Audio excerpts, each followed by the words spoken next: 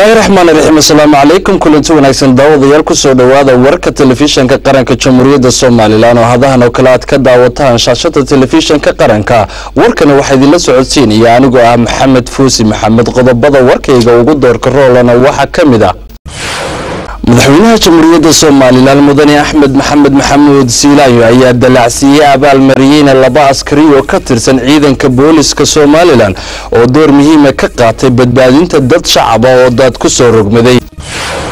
Golaha wakiilada somalilanna waxay cod caqlibiyada ku ansixiyeen xeerka cashuuraha beriga wasiirka wasaaradda maaliyadda jamhuuriyadda somalilan samsom cabdi aadanna waxay xilkii u kala wareejisay wasiiru dowlihii hore ee wasaaraddaasi iyo wasiiru dowlaha cusub ee wasaaradda maaliyadda. Wasiirka wasaaradda waxbarashada jamhuuriyadda somalilan cabdilaahi ibraahim habane ayaa sheegay inay wasaaraddiisu diyaarinayso qorsho wax lagaga bedelayo tayada waxbarashada dalka somalilan daawadayaal kuwaasi waa qaar ka mid ah qodobada warkayga ugu doorka rool haddana ku soo dhowaada warkii oo faahfaahsan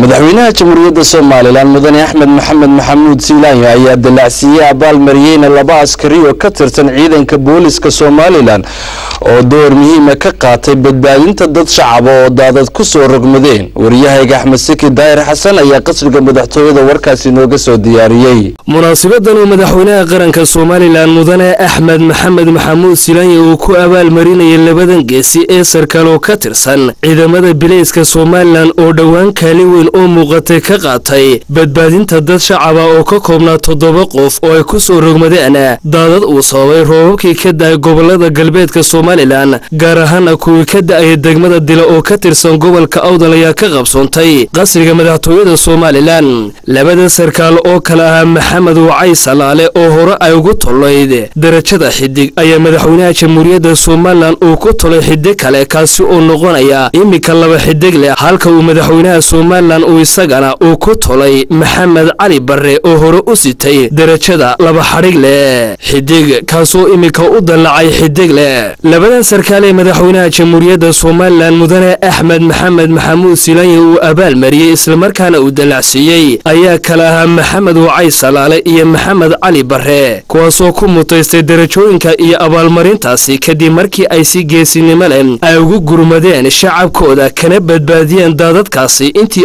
awoodooda ahayd taliyaha ciidamada bileyska somalilan sarreeye guuto cabdilaahi fadal iimaan uu halkaasi ka hadlay ayaa sharaxay sababaha loo dallacsiiyey labadan sarkaal.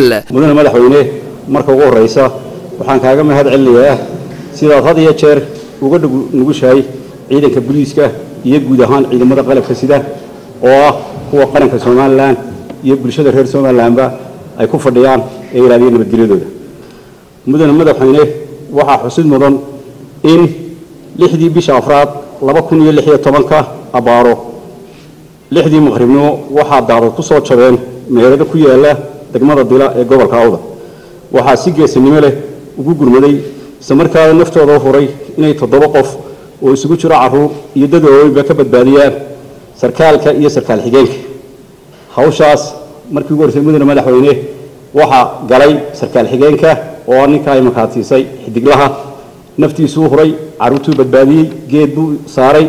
Isagoo guriga kii ugu dambeeyey markuu saaru geedkii saaray ayaa isagii daad ku dhuftay. Isagii baa khatar galay. Basi wanaag waxaa wax ilaahay looga mahad celiyaa wuu badbaaday. Xidigluhu oo taliixeenka saldhigga dilana wuu u soo gurmado markii dambe uu la daadgureeyey mudane madaxweyne waxaa ciidanka boliiska sharaf weyn iyo qiimeyn u ah inaan ka hor keeno sarkaalka iyo sarkaal xigeenka hawshaasi badbaadintaa ku guulaystay mudane maxamuud xaashi cabdi wasiirka wasaaradda madaxtooyada somalilan ayaa tallaabo geesinimo leh ku tilmaamay. Tallaabadan ay qaadeen labadan sarkaal. Waxaanu sheegay in ujeeddada madaxweynaha somalilan uu ka leeyahay ay tahay in la dhiirigeliyo ciidamada qalabka sida ee kala duwan iyo cid kasta oo la timaada wax shacabka somalilan ay ku farxaan. Labada sarkaal.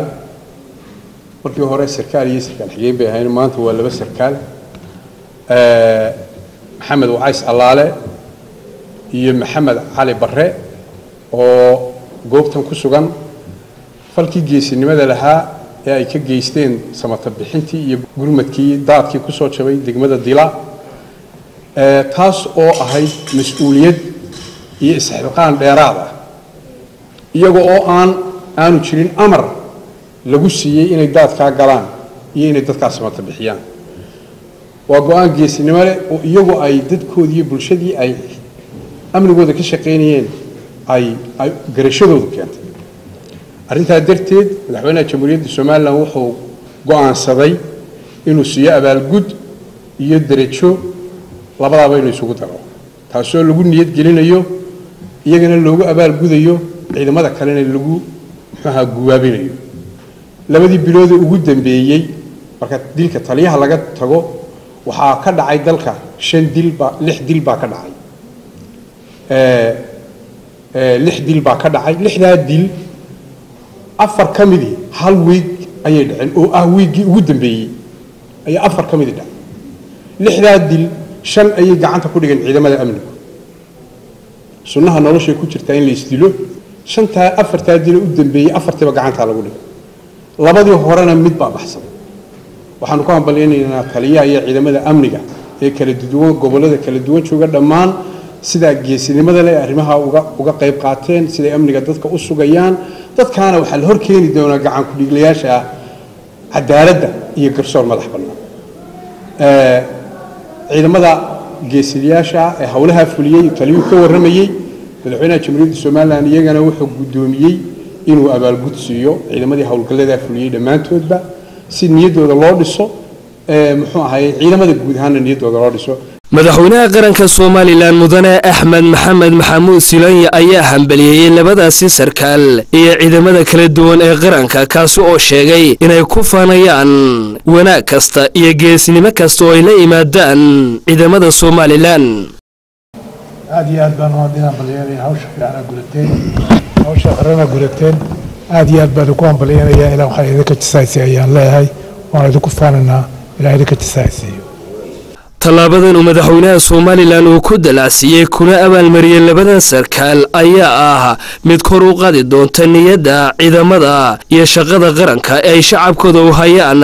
Waxaanay tusaale fiican ay u tahay in la dhiirigeliyo mar kasta saraakiisha iyo askarta kala duwan ee ciidamada gaar ahaana kuwa la yimaada dadaal iyo daacadnimo dheeriya axmed saki daar xasan iyo cabdilaahi cali suudi telefishinka qaranka somalilan qasriga madaxtooyada somalilan ee hargeysa golaha wakiilada jamhuuriyadda somalilan ayaa cod aqlabiyada ku ansixiyey xeerka cashuuraha beriga iyagoo sidoo kalena loo qeybiyey xeerar kale. Waryahayga cabdiraxmaan muuse ayaa faahfaahinta warkaasi inoo haya mudanayaasha golaha wakiilada somalilan ayaa fadhigoodii maanta cod gacantaaga ku meelmariyey xeerka cashuuraha beriga xeer hoosaadkan ayaa ansixintiisa waxaa oggolaaday lix iyo soddon mudane. Saddex mudane ayaa diiday cid ka aamustay may jirin guddoomiyuhuna muu codayn sida xeer hoosaadka golahu uu tilmaamayo. Fadhigan oo guddoominaya guddoomiye ku-xigeenka koowaad ee golaha wakiilada mudane baashe maxamed faarax ayaa dhinaca kale waxaa mudanayaasha golaha oo dhammaan labiyo afartan mudane loogu qaybiyey. Qabiyo qoraalka qaranka ee maaraynta maaliyadda iyo xisaabaad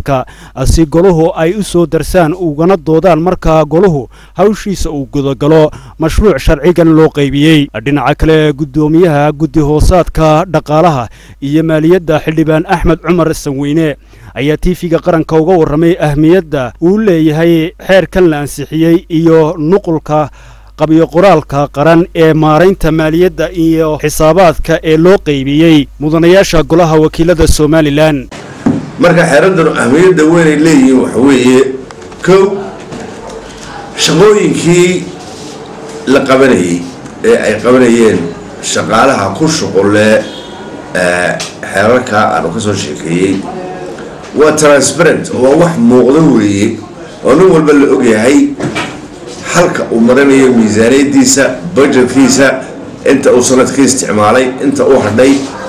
Yacni waa wax aan qof ama guru ku takrifan kaqarin weeye. Takrifal gooniya lagu samayn karin weeye.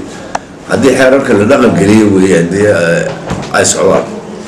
Marka basically waxa weeye dee waddanka intii aan joognay xeerarka intaa waanu soo wadno maalinba wuxun baanu soo sameynaynay kuwa kale waa kuwii maaliyadda laba xeer baa iyana soo socoo hadhay oo guddida dabagalka. Musuq maasuq ay gacanta ku hayso way keeneen iyaguna.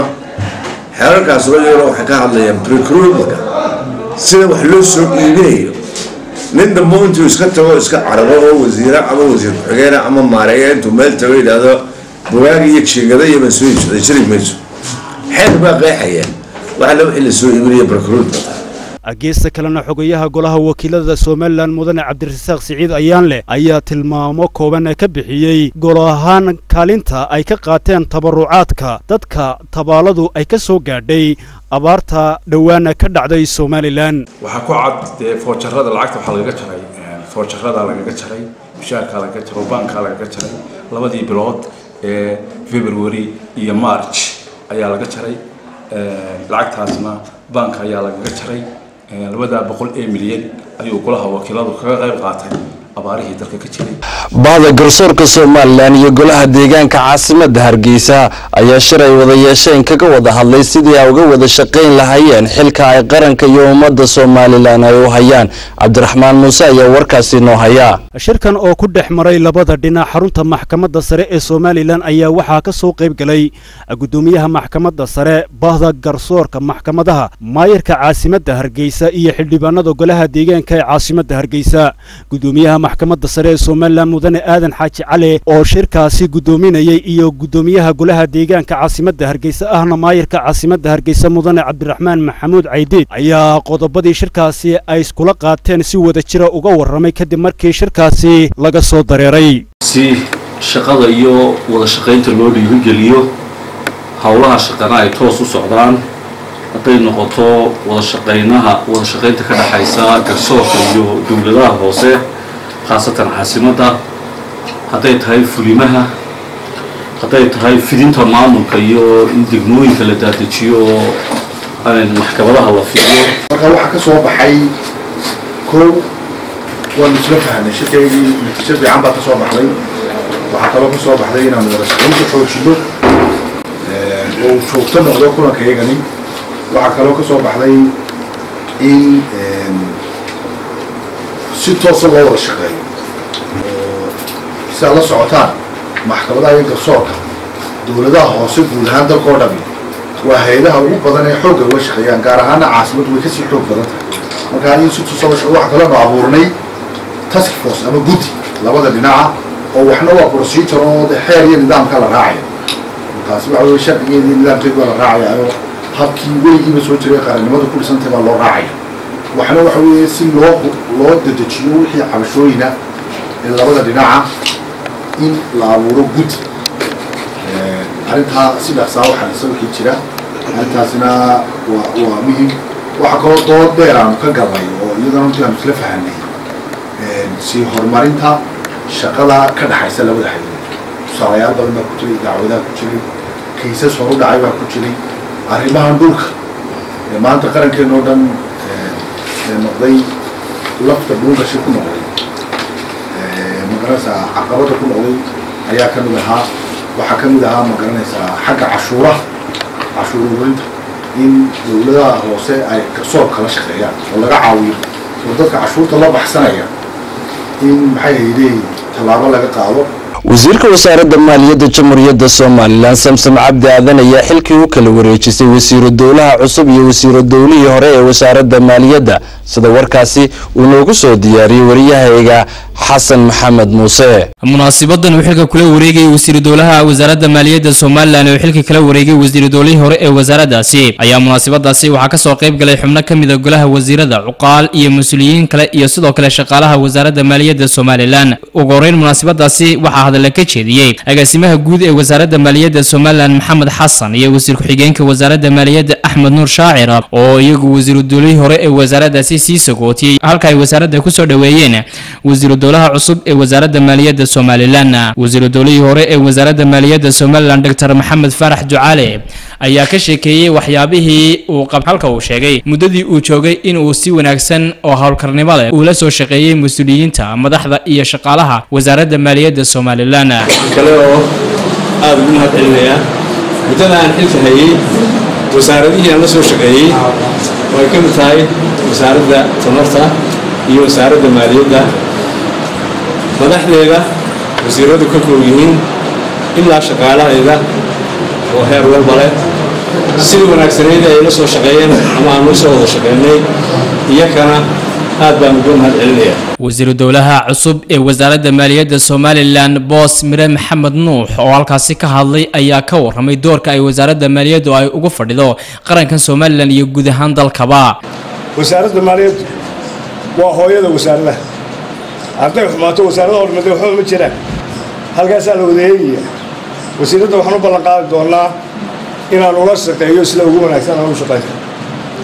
Inaan ka kaafiyo wixii dakhligaas waraaqda ku qoran ee bajetka in ilaahay noo dhameeyo ilaahaynaynula kaashanno marwa samsam cabdi aadan wasiirka wasaaradda maaliyadda somalilan oo madasha ka hadashay ayaa iyaduna wasiiru dowlihii hore ee wasaaraddaasi dr maxamed faarax ducaale waxay ku majeeratay mas'uul shaqo wanaag leh. Halka ay wasaaraddana ku soo dhoweysay wasiiru dowlaha cusub ee wasaaradda maaliyadda somalilan dr maxamed faarax ducaale iyo boos mire maxamed waxaa labaduba waa laba nin ugu qalmay inay wasaaradda maaliyadda ka shaqeeyaan.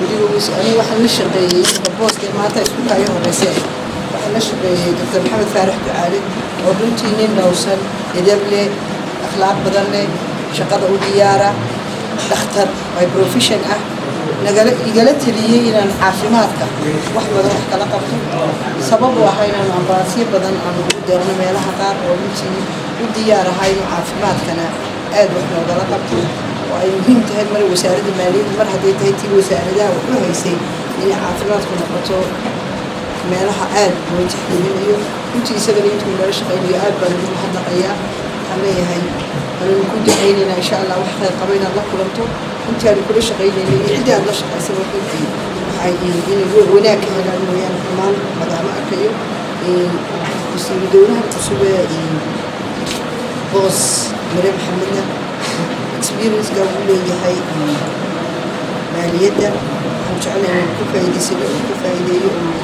budgetka predictionka ah ee ilaahay ka baryayno ilaahay nagu asturo abaaraha iyo waxaa dhacay aawadooda aan welwal badan ka qabno laakiinse iminka soo far aan wanaagsan yahay gabagabadii munaasabadaasi wasiirka wasaaradda maaliyadda somalilan murwe samsam cabdi aadan ayaa si rasmi xilkii ugu kala wareejisay wasiiru dowlaha cusub ee wasaaradda maaliyadda iyo wasiiru dowlihii hore ee wasaaraddaasi. Waa xasan maxamed muuse iyo khadar xanaan telefishinka qaranka somalilan magaalada hargeysa. Wasiirka wasaaradda waxbarashada jamhuuriyadda somalilan cabdilaahi ibraahim habane ayaa sheegay in wasaaraddiisu ay wado qorshe wax lagaga bedelayo tayada waxbarashada somalilan. Wasiirka wasaaradda waxbarashada jamhuuriyadda somalilan ayaa maanta daboolka ka qaaday inay wasaaradda waxbarashadu diyaarinayso qorshe cusub oo wax lagaga bedelayo siyaasadda iyo tayada waxbarashada dalka. Islamarkaana waxuu si rasmiya u shaaciyay inay waxbarashada sare ee jaamacadaha dalku noqdeen dukaamo ganacsi oo lumiyey tayadii waxbarashada. Wasiirkan wasaaradda waxbarashada ee jamhuuriyadda somalilan mudane cabdilaahi ibraahim habane oo haatan socdaal shaqo ku jooga magaalada burco ayaa waxa uu hadalkan ka sheegay kulan si wada jira wasaaradda waxbarashada iyo dowladda hoose ugu qiimeynayaan. Maamul daadijina oo ku saabsan in adeegyada aasaasiga ah ee degmooyinku gacanta ku hayaan kaasi oo ka dhacay xarunta dowladda hoose ee magaalada burco. Wasiirkan wasaaradda waxbarashada oo ugu horrayn daaha ka rogay inay wasaaraddu ahaan dagaal kula jiraan jaamacadaha dalka ayaa waxa uu sheegay inay noqdeen dukaamo ganacsi oo lumiyey tayadii waxbarasho ee laga filayey oo lagu lugooyey waalidkii iyo ardaygiiba.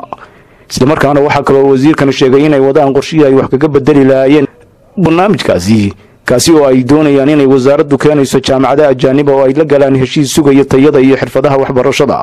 Iyaga oo xidhi doona ayuu yidhi jaamacaddii ay u arkaan inaanay ku fillayn adeega waxbarashada. Wasiirkan wasaaradda waxbarashadu waxaa kaloo maanta shaaciyey inay sidan oo kale wasaaraddu waddo.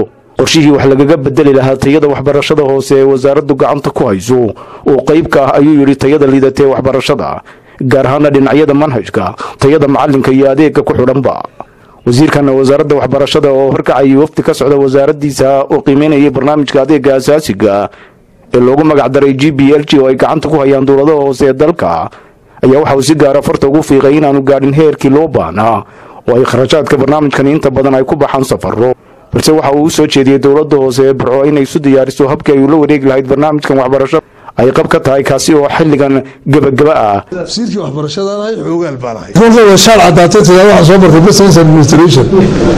Oo arji qori karaynin arjina qoran kari maayaan soomaaliya fudurisi midna kuwa qori kari maayaan been nima sheegayo.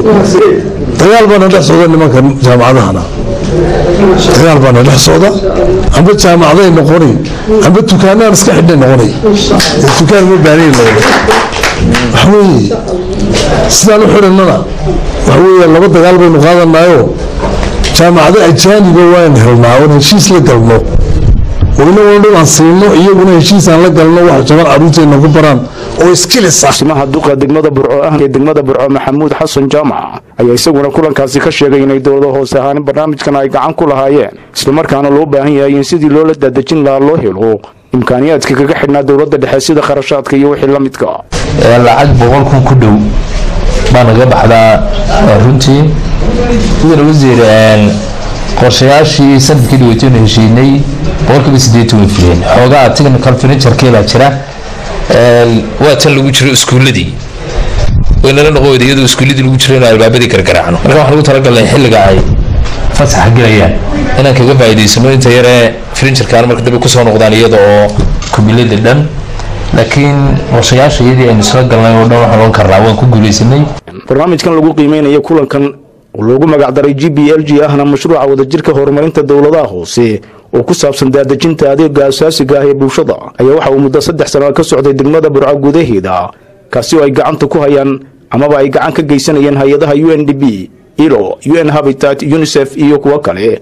Yuusuf ibraahim war tv-ga qaranka dadweynaha ku nool deegaanka fogax ee hoos yimaada degmada daarisalaam ayaa ka hadlay xaaladda abaaraha ee ka jirta deegaamadaasi. Dadweyne tiro badan oo ay abaaruhu saameeyeen oo u soo hayaamay degmada daarasalaam gaar ahaana deegaanka loo yaqaano fagaxo. Oo u warramayay telefishin qaranka somalilan ayaa ka warramay xaaladda abaareed iyo sidaa u saamaysay. Dadweynahan oo u warramayay telefishin qaranka somalilan ayaa ka warramay xaaladooda nololood dad iyo dunyooyin iyo xooluhu ay sidaa yihiin.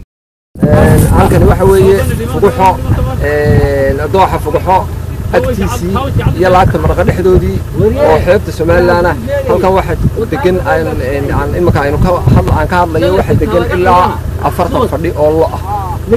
Waxaa xerada fadhiya ugu yaraan saddex meelood marka laga dhigo meel ahaan ayaan foofin oo xerada fadhiya kuwa halkaa imika ku xirxidhin ay qayb ka mida yihiin. Daraaddeed waxa weeye raashinkan imika aad arkaysaan waxa looga soo ururiyey magaalada. Oo galaamaha magaalada qof iyo karaamkii wixii kari karayay ayaa loo soo ururiyey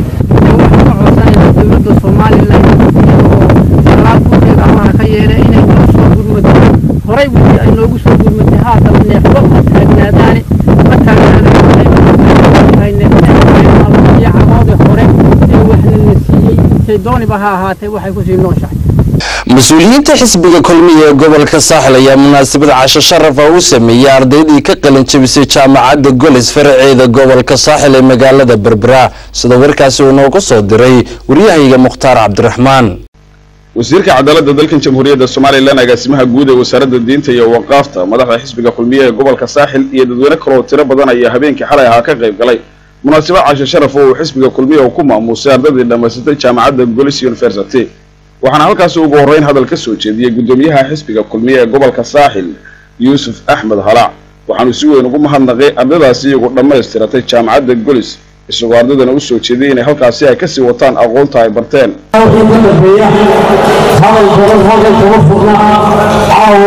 anigoo ku hadlaya magaca taageerayaasha xisbiga kulmiye ee gobolka saaxiib kana wakiila gudoomiyuhu maanta nala joogay gudoomiyaha xisbiga kulmiye muuse biix cabdi iyo hogaanka xisbiga kulmiye waxaan caawa halkan ugu hambaliyeynaynaa ardaydayada qiimaha leh ee maanta ka qaljebisay jaamacadda bolis agaasimaha guud ee wasaaradda diinta iyo waqaafta ee dalkan jamhuuriyadda somalilan sheekh salebaan siciid cali ayaa isaguna halkaasi ka hadlay